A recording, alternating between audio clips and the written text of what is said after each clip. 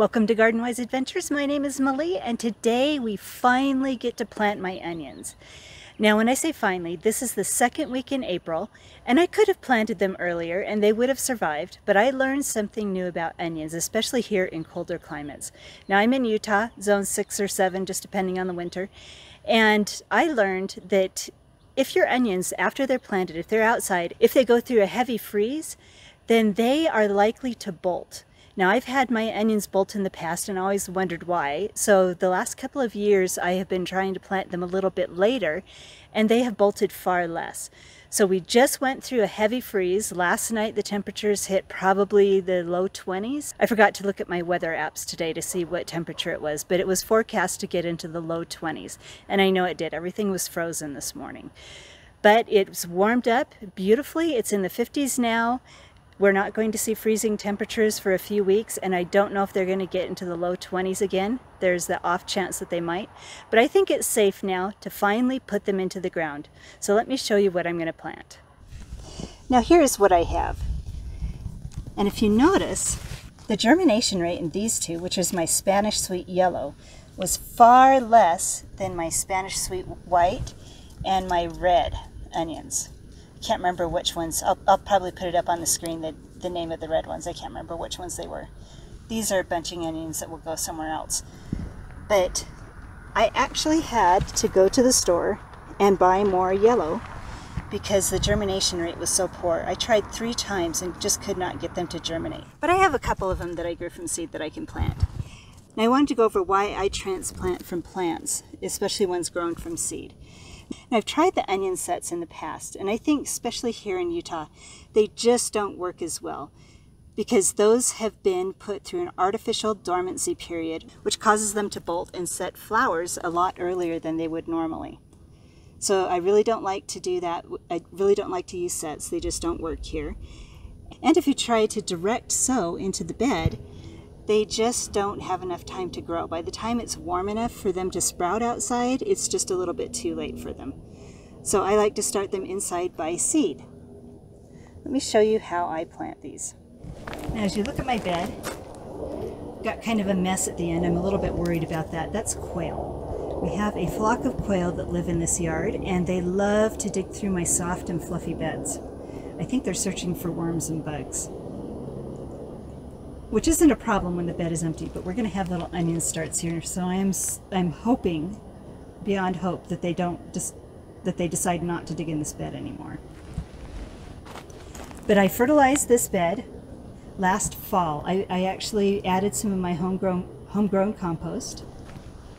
Onions are heavy feeders, so I am going to put a little bit of plant tone down. Um, I've tried to keep my fertilizers as high nitrogen as possible because adding compost adds potassium and phosphorus already. And a lot of the beds, especially here in Utah, a lot of garden beds that are amended regularly, regularly end up with too high phosphorus and potassium. I have not had these beds tested in a while. I think I will do that one of these days here shortly. But I am going to go off the assumption that they most likely have higher levels of phosphorus and potassium. Plant tone has a little bit higher nitrogen, so I'm going to be using that.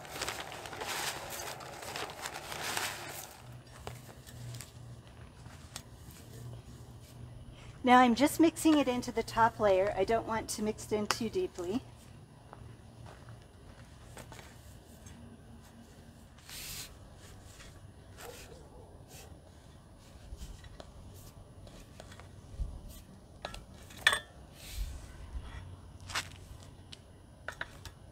Now I'm not going to plant these as a clump. What I'm going to do is I'm going to separate out each individual plant and that's not hard to do. These are my red onions. I'm going to plant these at the beginning of the bed. I'm just going to plant them all in blocks of color. I'm not going to mix them up.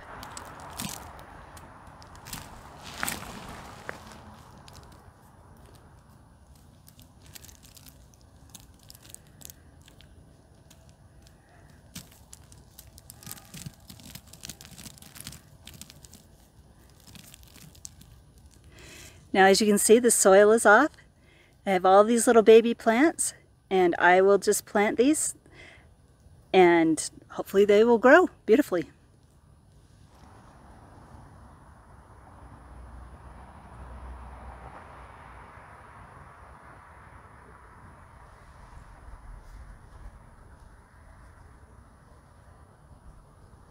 Next is the pathetic yellow ones.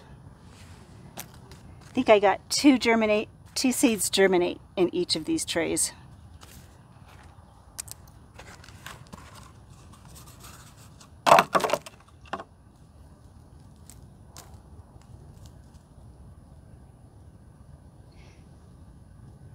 They've got good roots though.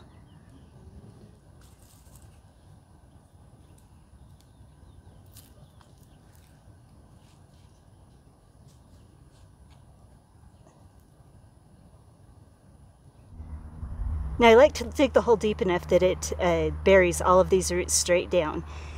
And then I like to cover it about to this point.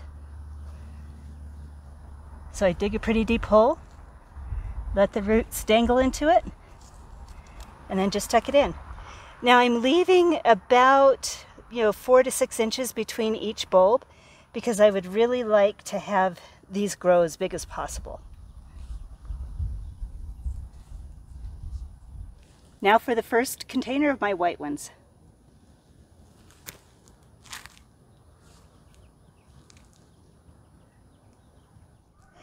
We are all finished. We've got all of our onions planted. They're all watered in and I counted around 90 of them.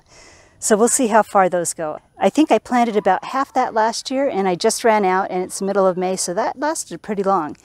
That also included all of the stuff that I made and canned that had onions in it. So I, I'm hoping this will last me a little bit longer.